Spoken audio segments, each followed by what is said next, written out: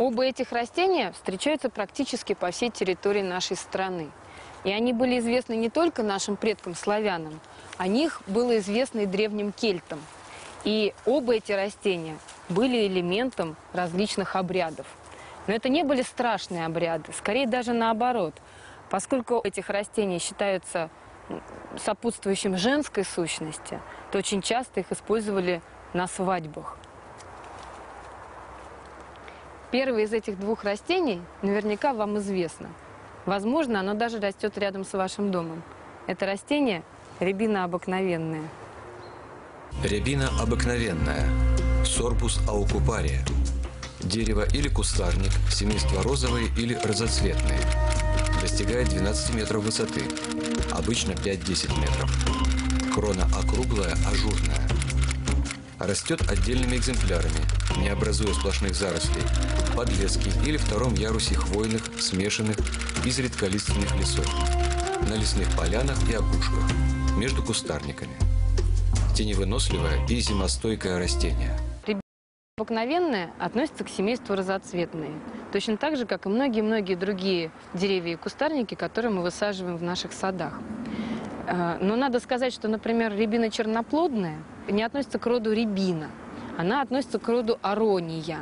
И говорить, что это рябина, не совсем верно. А вот наша рябина обыкновенная имеет совершенно характерные внешние признаки. Во-первых, это дерево, высотой обычно 10-12 метров.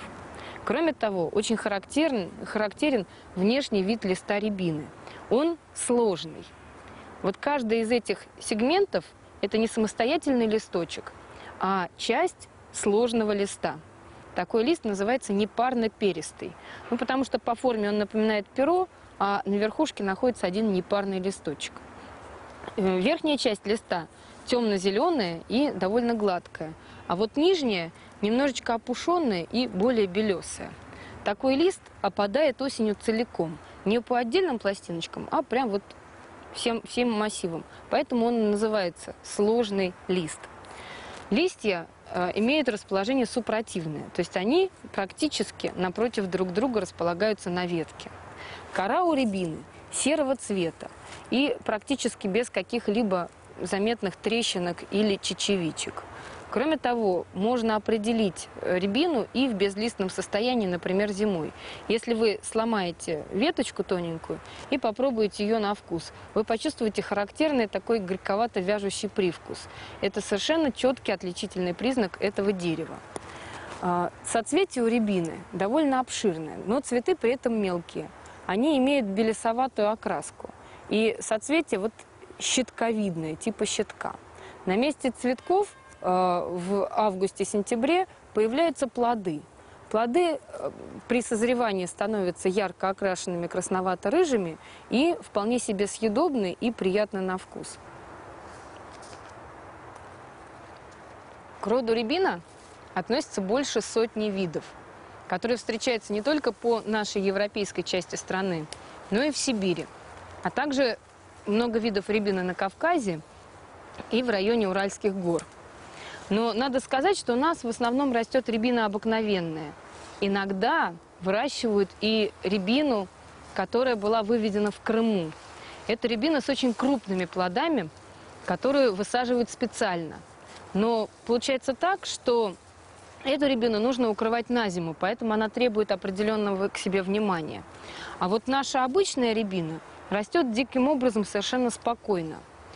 А еще про рябину известно, что есть сорт под названием рябина неженская.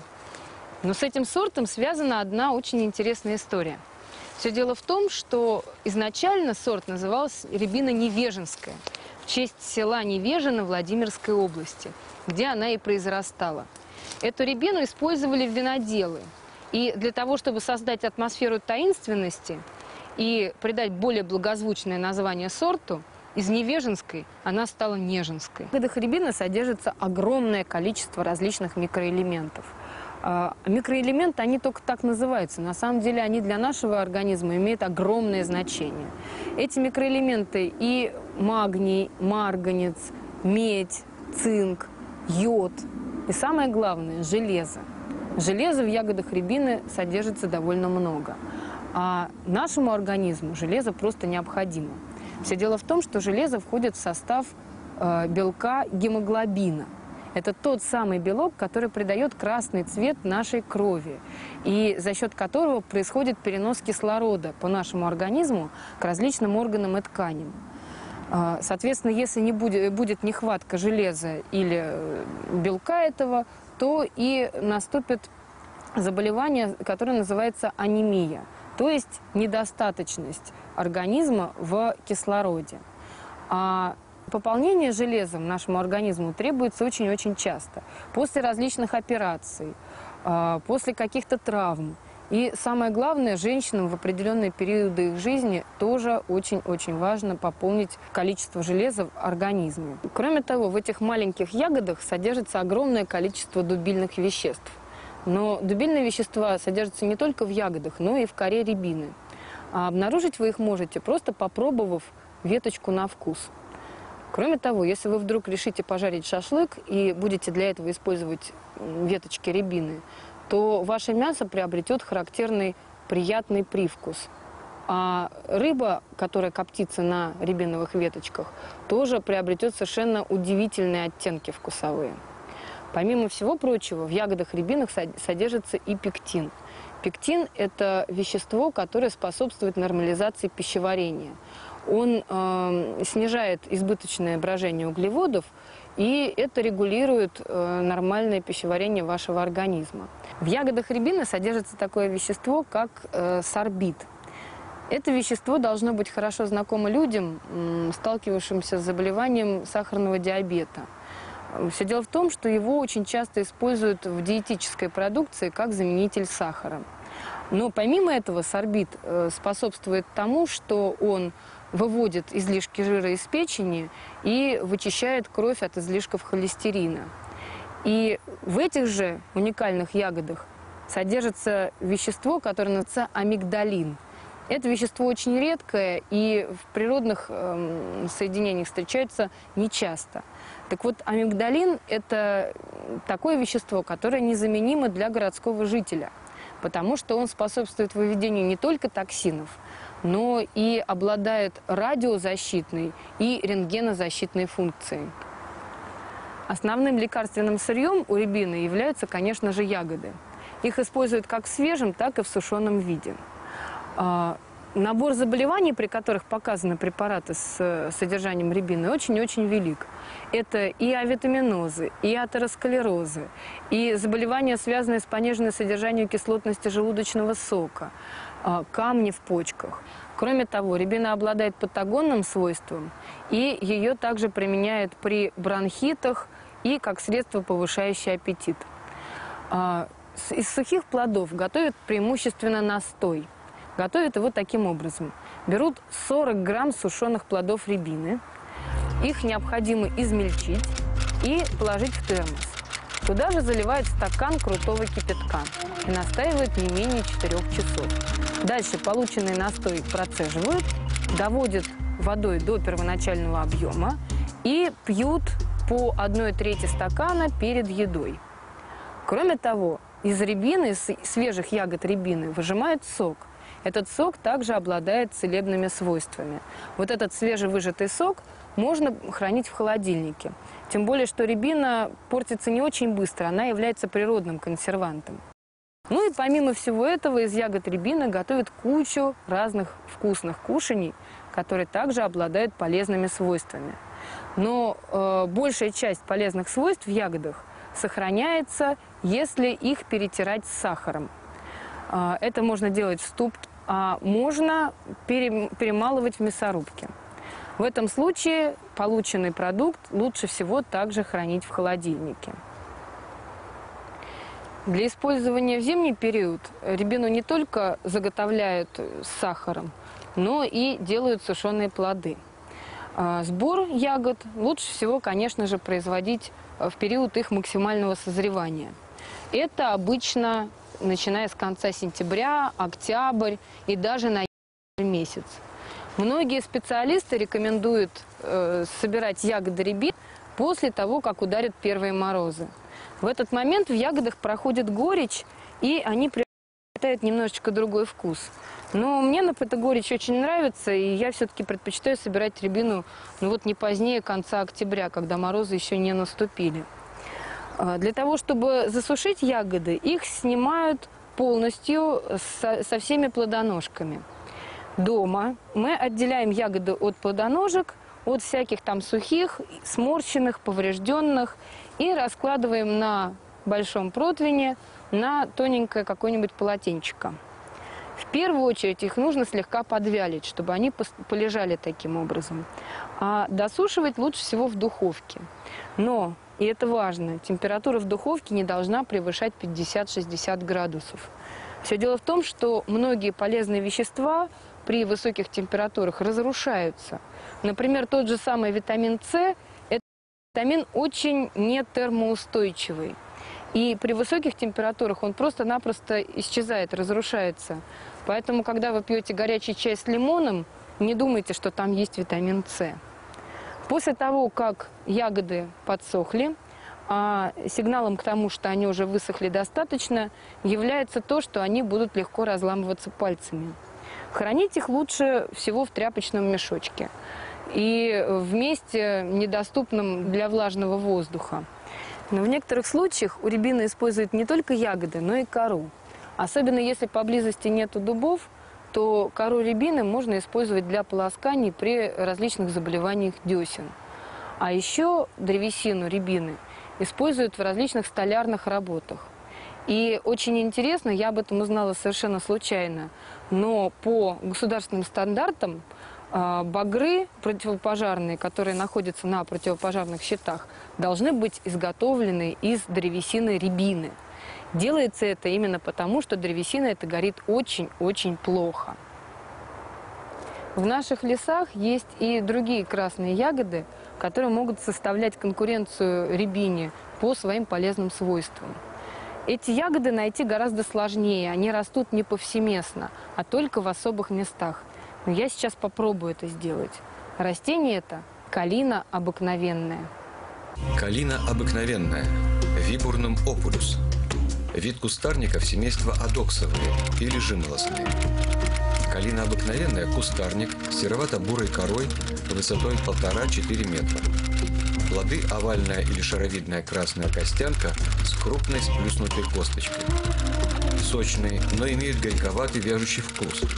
После первых морозов горечь пропадает или становится меньше. Цветет в мае-июле. Плоды созревают в августе-сентябре. Калиной это растение названо потому, что в конце августа, начале сентября, когда поспевают его ягоды, они очень быстро из зеленых становятся красными, как бы раскаляются на солнце. Именно поэтому и возникло такое название. Калина всегда считалась растением довольно мистическим. И у наших предков, у славян, это растение было связано всегда с осенью, с месяцем, когда люди играли свадьбы. Это октябрь. И в октябре калину собирали. Во время свадебных пиршеств она обязательно присутствовала на столе. А, Обязательно были ягоды калины в наряде невесты. Потому что, кроме всего прочего, эта ягода считалась символом женской красоты и целомудрия. И вообще э, древние знахари рекомендовали подойти к дереву, погладить его кору, и считалось, что все несгоды в этот момент человека должны покинуть. Встречающаяся в нашей средней полосе калина, так же как рябина, носит название обыкновенное. Но это совершенно не значит, что эти два растения являются родственниками. В названии главным является первое слово.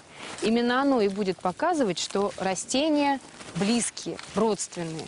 А вот второе слово то показывает лишь то, что э, конкретное растение имеет конкретное свое обозначение.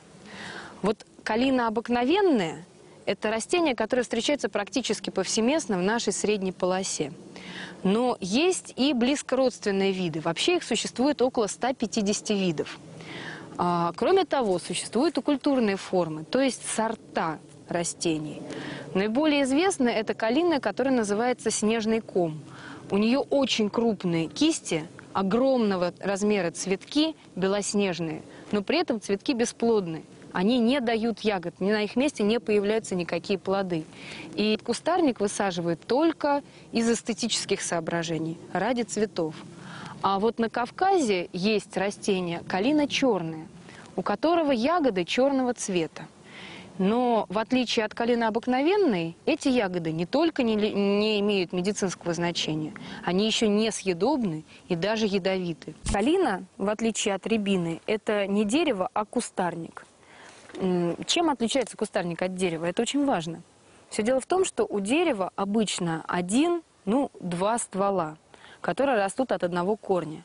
В отличие от деревьев, у кустарников стволики более тонкие, и от одной точки их растет сразу несколько. Больше того, калина образует довольно густые заросли, что используется, например, э, при высадке их на участках. Они создают как бы естественную живую изгородь.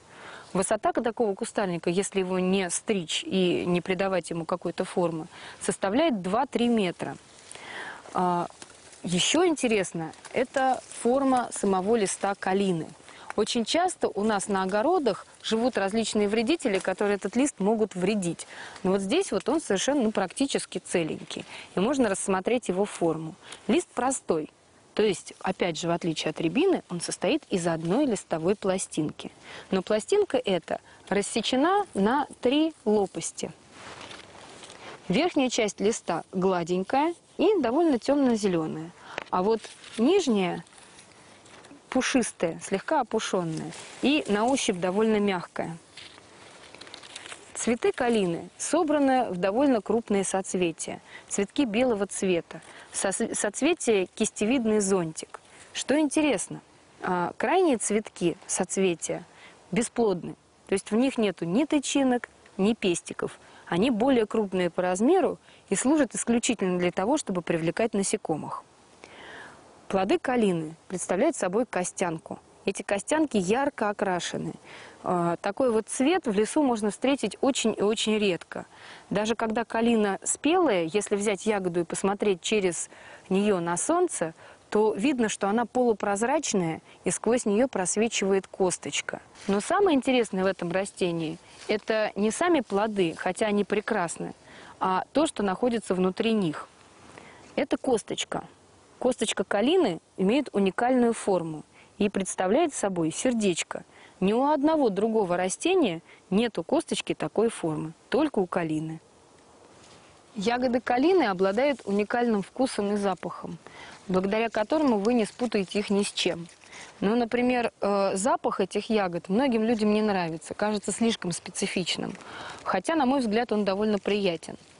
Он напоминает немножечко запах валерьяны и одновременно отдает нотками яблока. А валерьяной он пахнет по одной простой причине. Там содержится та же самая валерьяновая и изовалерьяновая кислота, которая содержится и в корне валерьяны. Поэтому как раз э, калина и будет обладать некоторым успокаивающим свойством. Вкус калины слегка горьковатый и довольно терпкий. Считается, что так же, как и у рябины, после морозов эта горечь проходит. Но, опять же, на мой взгляд, эта горечь придает некий благородный привкус и оттенок вкусу этих ягод. Калина обыкновенная довольно обильно встречается по всей европейской территории России. Причем на юге ее заметно больше, чем на севере. Кроме того, она растет на Среднем и Южном Урале, на Кавказе, на юге Западной Сибири. Вообще можно сказать, что ареал калины приурочен к лесной или лесостепной зоне. Встретить это растение можно в основном во влажных местообитаниях. Это опушки лесов, вырубки, бывшие гари, долины рек и ручьев. И если знать, где ее искать, найти ее можно довольно просто. Ягоды калины содержат огромное количество полезных для человека и совершенно уникальных, исключительных по своим свойствам веществ. Но в первую очередь это э, различные органические кислоты.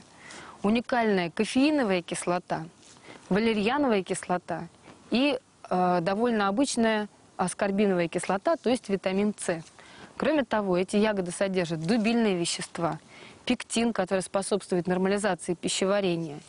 А, здесь же содержатся и эфирные масла, и бета-каротин, то есть провитамин А. Именно благодаря ему э, ягоды и имеет такой довольно яркий красный оттенок. Здесь же содержится и еще одно уникальное вещество – вибурнин. Именно это вещество придает ягодам горечь. Но особенность его в том, что он разрушается при термической обработке. У калины обыкновенной используют э, в медицинских целях ягоды, кору и даже цветки. Ягоды используют в виде отваров, настоев или же перетирают их с сахаром или медом. И используют их в основном в тех случаях, когда возникают какие-то воспалительные заболевания верхних дыхательных путей, э, бронхиты, кашель.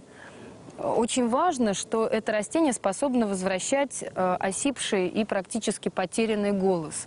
Э, наверное, это будет интересно учителям и политикам. Люди, у которых работа связана с тем, что им приходится очень много говорить. И потеря голоса ну, равно, равносильно потере главного рабочего инструмента. Кроме того, ягоды калины используют при гипертонической болезни, для нормализации работы сердца и при атеросклерозе. Потому что э, сок калины со всеми содержащимися в нем веществами способствует очищению кровеносных сосудов. Отвар коры калины используют э, как средство обладающие очень высокой кровоостанавливающей способностью. Это очень важно при различных кровотечениях, э, в том числе при довольно обширных внутренних кровотечениях. Особенно важно, что используют в послеродовой, при кровотечениях в послеродовой период. Кроме того, кора калины обладает целым рядом полезных свойств. А, Ее используют при головных болях, при бессоннице. Это успокаивающее средство. А еще отваром коры полощут рот при различных воспалениях ротовой полости, ну, например, при пародонтозах. Кору калины лучше всего собирать весной, в период сокодвижения. Срезаются боковые ветки, на них делаются кольцевые надрезы ножом и дальше поперечные надрезы. И вот эти вот сегменты коры аккуратненько снимаются и выкладываются в какое-нибудь довольно сухое проветриваемое место для просушки. Сохнет кора в зависимости от температуры и от э, влажности окружающей среды от нескольких дней до недели, может быть дней 10. Считая, что э, кора готова к использованию, э, когда она высохла настолько, что легко ломается пальцами. Хранить этот э, препарат лучше всего в закрытой таре без доступа воздуха, чтобы влажность туда не попадала. Еще у калины используют и цветки. Собирают их в период цветения в мае-июне месяце. Срывают целыми кисточками и приготовляют из них отвар. Этот отвар используют как вяжущее, кровоостанавливающее, противовоспалительное и патагонное средство. А еще этот отвар обладает э, свойством улучшать аппетит. Ягоды калины для того, чтобы запасти их на зиму, можно заготавливать различными способами. Один, наверное, из самых доступных способов – это засушивание. Сушатся они точно так же, как любые другие сочные плоды. И я об этом уже говорила, их нельзя подвергать очень высокому нагреву. Поэтому сушка должна происходить при температурах не выше 50 градусов.